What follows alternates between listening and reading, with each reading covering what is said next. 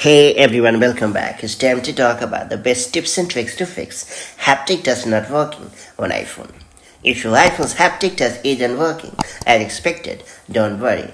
This feature which provides quick actions with the press and hold gesture can sometimes face software or settings related issues. In this hands-on guide, I'm going to talk about the five most effective solutions to fix haptic touch not working problem. That's it. Let's get started. So first off, I would recommend you to check your haptic touch settings on your device. If the haptic touch sensitivity is set incorrectly, your iPhone may not register your touch duration properly. The fast option responds quicker while the slow option requires a longer press. Misconfigured settings can make haptic touch seem unresponsive. Just open the settings app on your iPhone and then you have to choose the accessibility option and under the physical and motor section, select the touch option.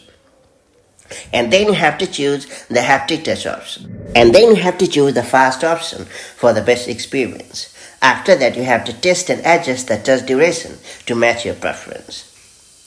Then I will recommend you to restart your iPhone iPhone occasionally experiences software glitches or background app conflicts, which can disrupt features like haptic. Restarting the device clears temporary system errors, resets processes, and often resolves minor performance issues. To do so, you just have to hold down the power button and the volume button simultaneously, and then you have to drag to power off your device. And then you have to wait for a few seconds and press the power button aka, the side button to restart your iPhone. Next up, I will recommend you to disable and re-enable the haptic feedback on your iPhone.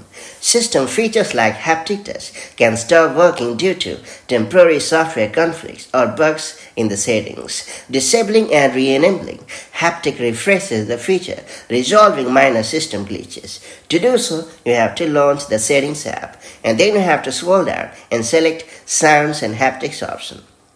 Then you have to turn off the toggle next to system haptics and then you have to restart your iPhone. And once your iPhone has rebooted, you have to turn on the system haptics and check if the haptic touch has started to work as usual. Then I will recommend you to update the software on your iPhone because I suspect that a software bug might be causing the problem and preventing the haptic touch from functioning properly.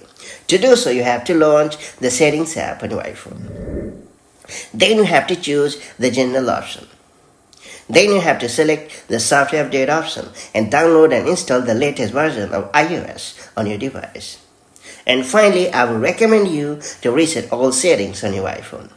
Note that corrupt system settings or software conflicts can cause haptic touch to malfunction, and resetting all settings will help you restore factory defaults for configurations without deleting your personal data, eliminating any conflicting elements. To do so, you have to launch the settings app on your iPhone. Then you have to select the general option.